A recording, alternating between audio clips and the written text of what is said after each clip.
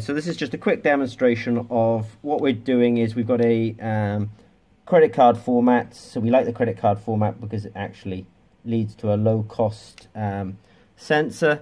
So we put the sample on to the, um, let's say this credit card format.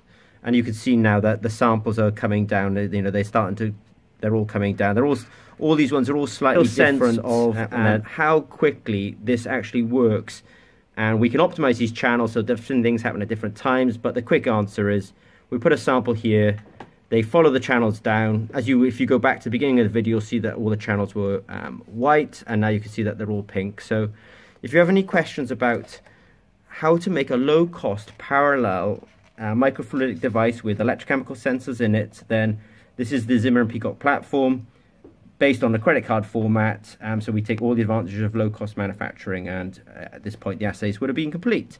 So glucose, lactate, um, lactate oxygen, potassium, enzymatic DNA, whatever you want to do. Um, contact us at Zimmer and Peacock. Thanks very much.